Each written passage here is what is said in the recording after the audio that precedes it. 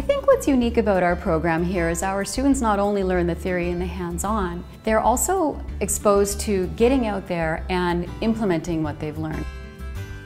It's a great program to join if they're looking to help others, if they're interested in the healthcare aspect in a career. The other unique thing about our program is the diversity of the participants, of the students that we have in our program.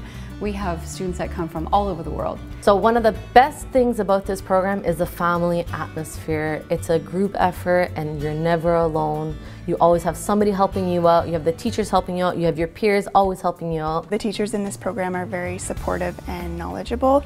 They really prepare us for the real world because they have a wide variety of backgrounds. And one thing that I also really loved about um, being in dental hygiene is that the theory that you do learn, it's going to be applicable in private practice. We also offer quite involved hands-on learning. We implement it early on in the program.